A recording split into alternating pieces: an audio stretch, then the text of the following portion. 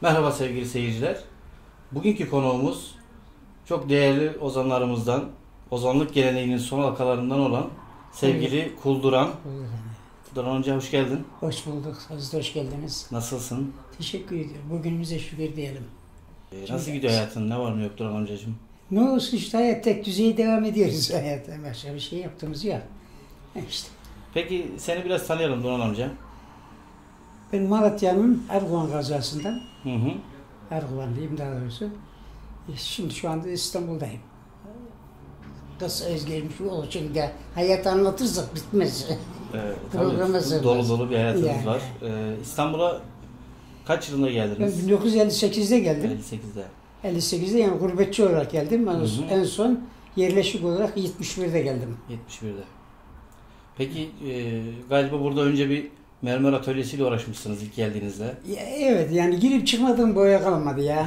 Yani bir tek mermerle değil de mermer işi yaptım, merdiven mozaik işi yaptım, bakkal çalıştırdım, inşaatlarda çalıştım, yıkada falan yani.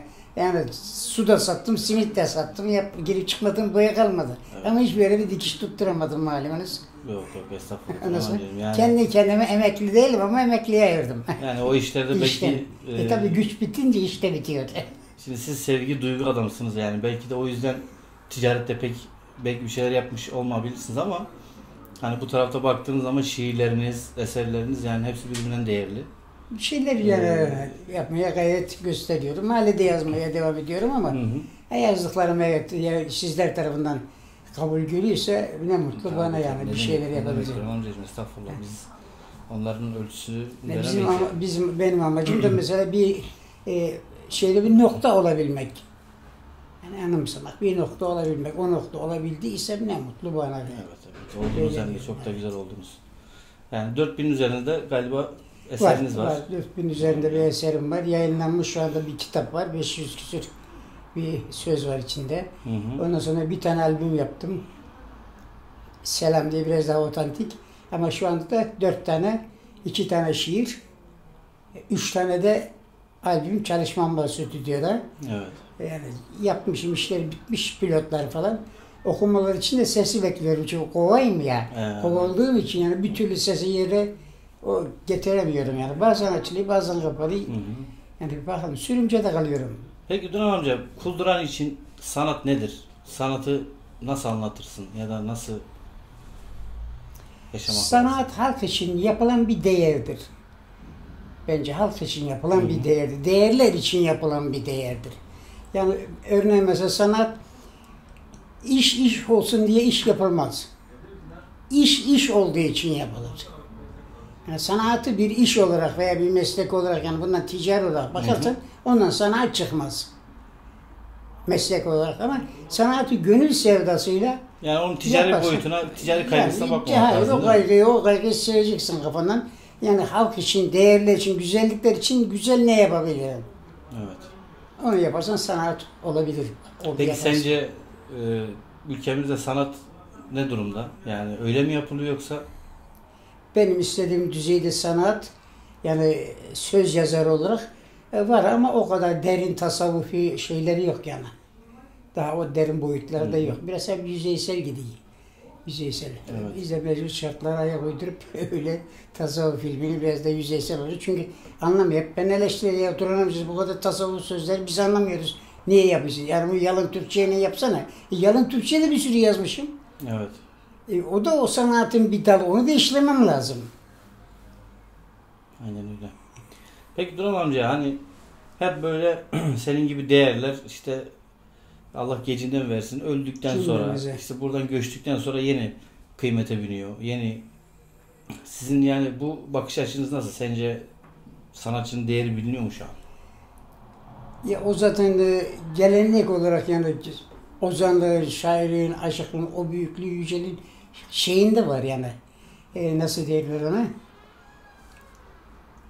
Ruhundan Kaderinden mi var diye yani normunda kaderinden mi diyeyim yani öyle. Çünkü öyledir hep söyle. Tarihe bakar eyvah ya işte bu adam için bir şey yapamadık falan ne değerli gitti. Gittikten sonra onun değer olduğunu ifade edilsin.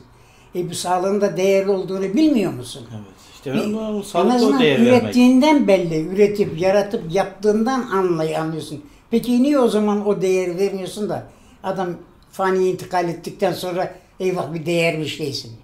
o zaman mı fark ediyorsun? Peki e, hayattaki en güzel şansım şiir yazmak demişsin Duran amca. Hı hı. E, bu konudan da biraz bahseder misin?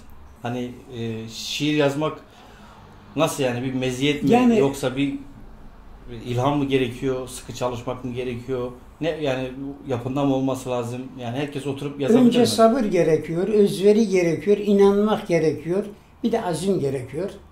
Hani birçok şeyi bir arada yapmak gerekiyor. Efendim bir de bir arayış var. Yani hiçbir şair, hiçbir ozan hatta dünyayı fani edecek vücutta ben bu işi tamamladım, arzu ettiğim, istediğim düzeyde bir eser yaptım, yarattım diyemez. Hala bir arayışı vardır. Sürekli Ha, o son imzayı atmak çabası vardı. Ta gözü yumulana kadar ama atamadan da gider yani. He. Çünkü sonu gelmez istek bazıların. Mesela örnek diyeyim ben şöyle bir örnek vereyim sana. İnsanın insanı kamil olabilmesi için 18 bab denilen mertebeyi kat etmesi lazım. Biz buna tasavvufta hatta tarikatta makam diyoruz. Makam olarak geçiyor. Hı hı. Şimdi bu yazıt olarak mutlaka bir yerlerde var ama şiirsel bir anlatım yok bu konuda. E, şiirle anlatım daha bir kalıcı olduğunu düşündüğümden bu 18 şeyi e, mertebedeki insanı kamili yani e, o insanı kamil. Ya o insan kamil olmak ayrı bir statü. O hala insan. Evet. Yetişmiş erden bir insan. Ama insanı kamil olmak için birçok şeye değinmek lazım. Mesela ben öyle o şiire şöyle başladım. Aklın medhali yok dil beyanede ariflerin makamıdır bu makam. İlimle donanmış, irfanla yunmuş işte mariflerin makamıdır bu makam. Değme kimse o makama varamaz, o raha bend olan mürşid aramaz. Hak'tan özge muamelesi olamaz işte velayetler makamıdır bu makam. Meydanda mutasıl her hikmet ilmi, her derdin devası derman değil mi? Ekser ilim idi Lokman'ın ilmi işte hikmet ehli makamıdır bu makam. Cazibe fenaya mürşitsiz varır. Lehv-i mahfuz haktan feyzin alır. Zaten müşahede edenler kalır işte kemalliğin makamıdır bu makam. Hiçbir cisim yok ki Adem bilmeye. Diyen bilmez, bilen sırrın demeye. Öz gerekir bu irşada girmeye işte küre arz makamıdır bu makam. Evrahı alemde açıklar durur. 18 bin alem cümle kamudur. Maşukluk dediğin ruh makamıdır ama enbiyalar makamıdır bu makam. Ve levhi kalemde makamı hayret, o lütfu ermeye gerekir gayret. Cümleye sadaka, doğru öz niyet, lakin velayetler makamıdır bu makam. Veli odur tüm berzahı katede, ere haktan gele, hep hakka gide. Daim kala, ruh cesedin seyri de işte fena ahli makamıdır bu makam. Kuldurana gerek insanı kamil, yete yetiştire iki can bir gül. Her fani bu gizin farkında değil, lakin mezupluğu makamıdır bu makam. Allah ne Yani- güzel anlatmışsın Duran amca. Yani işte insanın kamili ancak 18 boyunda her, her birine birer kıta yazsam 18 kıta edecek. Ben iki şıkkı bir dörtlükte birleştirerek 9 kıtayla işi bitirmeye çalıştım. Bitirdim öyle. Çok güzel anlatmışsın. Peki Duran amca feyiz aldığın kimler vardı? Yani çoğu da faniyi terk ettiler. Birçok ozanla, şairle, aşkına oturdum, muhabbetim Hı oldu. hı. E, feyiz aldım tabii ki her birinden birer feyiz aldım almadım desem olmaz yani. Herkesin bir tadı var, bir lezzeti var, Tabii, bir tabii. çeşnisi var. Her yemen bir özelliği var. Her hepsinden de bir tad aldım yani. İlkin zaten ilk tanışmam bu işte rahmetli Meftuni. Seyit Meftun. Seyit Meftuni. Yani onun dizinin dibine yetiştim diyebilirim. İlk şeyim odur. Ondan sonra artık Maraş'ta Perişan Güzel, Perişan Ali, Perişan Devriş, Meçhuli, efendime söyleyeyim Hüdayi Baba rahmetli, e, Zevraki, birçok yani sayamayacağım kadar Birçoğuyla muhabbetimiz yani oldu. çoğunu çoğunu yani sayamayacağım kadar birçok ozan şair hepsinin bir muhabbetim oldu yani. Peki sanatta Duran amca usta çırak ilişkisi ne kadar önemli sizce? Usta çırak ilişkisi yani birisini yetiştirem de bu konuda yapam dersen bir kimse yetiştiremezsin. Bunun okulu yok, eğitimi yok, yani verimli yok. Yani o kişinin kendi içindeki hevesinden doğan, sevdasından doğan bir olgu. Hı hı. Yani alıcısı kuvvetli değilse ne kadar verirsen almaz yani biliyor musun? Yani ha şurada Çamlıca'da radyo yayıyor ben burada bozuk bir radyom almıyor Çamlıca'yı çekmiyor. Ama Erzurum'daki çekiyor efendim. Evet. Alıcısı güçlü olduktan sonra mesele yok yani. Yani kişinin kendinde olacak. Kendinden olacak mutlaka içinden doğacak, içinden olacak olması lazım. Yani içinde yetiştirmesi lazım. O çocuk kendi içinde büyüyecek. Evet. Peki e, yeni bir albüm herhalde hazırlıyorsun Duran amca. Albüm stüdyoda şu anda bekliyor, okumalarımı bekliyor. İki tane şiir albümü, üç tane de şey, müzikal olarak yapılmış Müzikal altyapıları falan Binali İlgin yaptı sağ olsun. Okumaları, pilotlar okudum. Ondan sonra hastalandım. Ondan sonra gerçek okumalar bir türlü geçmedim ama çok güzel şeyler var orada da. Kesinlikle vardır Var, eminiz ona. var. Çok güzel edebi şeyler var, türküler de var. Ondan sonra deyişler de var, eserler var. Ama genelde benimki felsefe biraz işte. Sosyal da var, siyasal da var. yani her şey karışık bende, çorba. Peki Duran amca e, İstanbul'a nasıl karar verdin geldin? ya İstanbul'a yani geçimsizlikten tabii ki ben Argon'da oturuyorum ama yerim yok, yurdum yok. İstanbul'da çalışıyorum, gidip orada böyle iki göz ev içine yiyorum. Tekrar güzel, kış orada geçiriyorum. Yazın geleyim yine inşaatlarda sağda sola çalışıp üç beş kırk bilip girip orada erzağımı alıyor. Orada gene yiyeyim. E, bu böyle devam etmez dedim ya. Çoluğa çocuğu aldım çek İstanbul'a git. Orada çalış orada ye. Geldik burada diyeceksin doydum. burada da doymadık. yani yani. Doymuyoruz. Yani o peki iş hayatında çalışırken bu ozanlığını şa- şairliğini yapmak Ben- kolay mıydı? Şey yapmadım yani bunun üzerinde eğilmedim. Çünkü ben buna bir meslek olarak, bir sanat olarak ben buradan ekmek yerim diye bakmadım hiçbir zaman. Hı hı. Ama o sevda, o içimde şey vardı. e, devam ediyordu. E, bilhassa gençlik yıllarında çok eser şey yaptım. Çok yazdım ama çok imha ettim. Kaç yaşında mesela başladın yazmaya? Ben aşağı yukarı bir askere gitmeden önce başlamıştım 17-18 yaşlarında. E, e, kalem eli var. Ben de bir şeyleri yazmaya başladım ama ta 40 küsür yaşını geçene kadar hiçbir eserimi gündeme taşımadım. Güncel olarak çıkarmadım. Aşağı yukarı onların hepsini iptal ettim. Ondan sonra sizin gibi birkaç tane dost, arkadaş dediler ya güç sözler kimi falan dedim ya işte ben de bir şeyler yazmaya gayret gösteriyorum falan dedim. Dediler ya bu sözler müthiş sözler. Yani şey ilk yazdığım söz şeydi. Yıkılmış virane gönlüm mamur etmez mimarı. Canımı canana verdim, cismimi can eyledim. Vücudum şehri içinde öyle sermezdim bugün. Baktım gönül aynasından arşı seyran eyledim.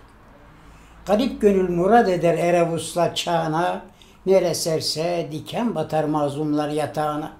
Nefsi şehvet kala vurmuş gönlümün otağına. Hakkı ile turaba indim, yıktım bir an eyledim.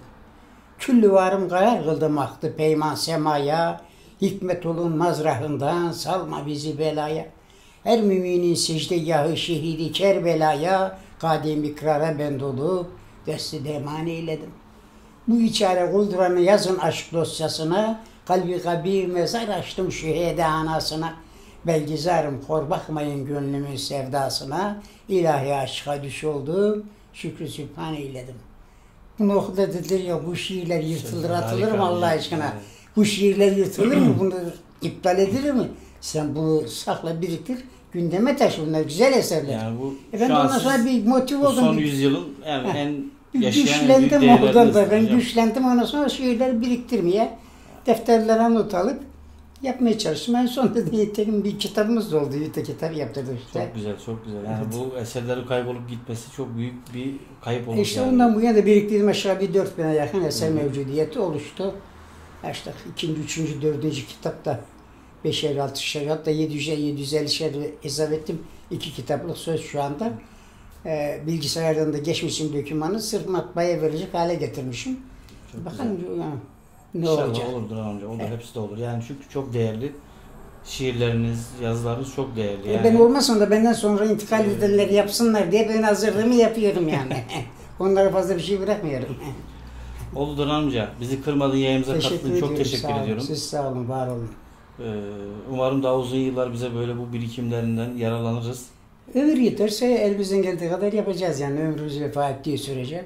Bu hizmeti görmeye devam. Bu- Ben askerliği de şeyde yaptım, Karagah bölüğünde. Karargah bölüğü hizmet bölüğüdür biliyorsun. Yani sivillik de karargah bölüğündeyim. Benim hizmet bölüğü. Görevimi yerine getiriyorum. Evet. Birileri gibi bunun şu an şöhret mi, bütün makam, para, pul peşinde hiç olmadım, olmam da. Zaten olsaydınız bu Olmam da. bunlar çıkmazdı yani. Olmam da. Belli yani o değerler sadece Evet. gönülden çıkar. Oldu. Ben de öyle düşünüyorum, öyle düşünüyorum. Öyle olması gerekiyor bence. Ben teşekkür ediyorum, çok sağ olun.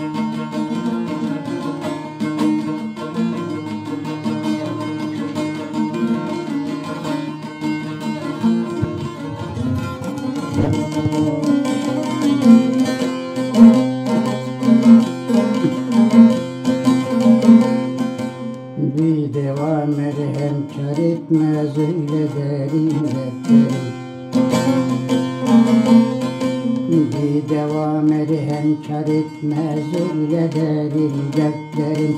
Mümkün mar olsa gözüme girmesi mümkün değil. Eksilmez elemi gamım gün artar kederim Hak bilir ya bunun böyle sürmesi mümkün değil.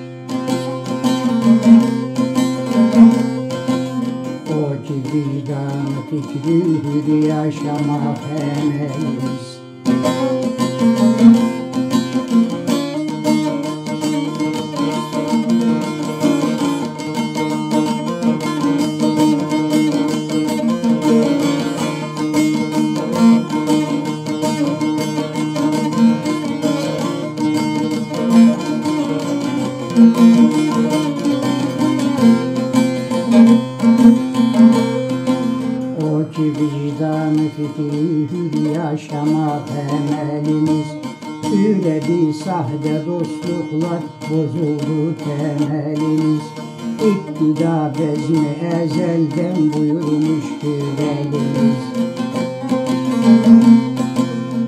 Gerçeğe kör zahitlerin görmesi mümkün değil.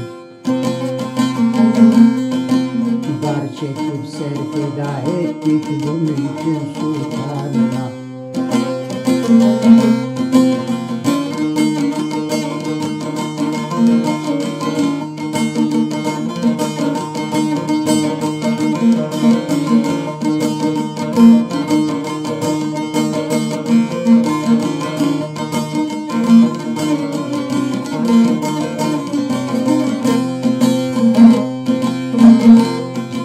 Dar çekip serfeda ettik bu mülkün sultanına.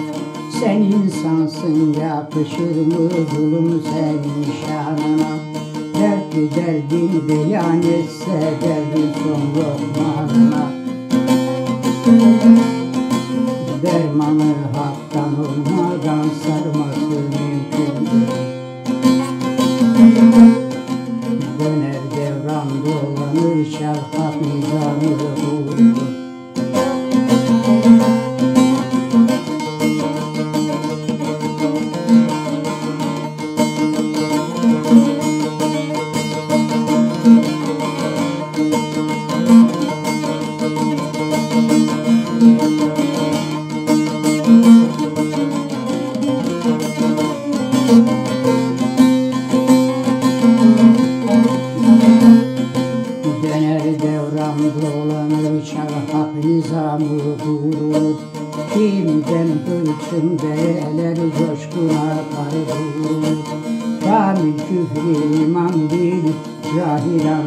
Durur Sağ olan sadık gönül kırması mümkün değil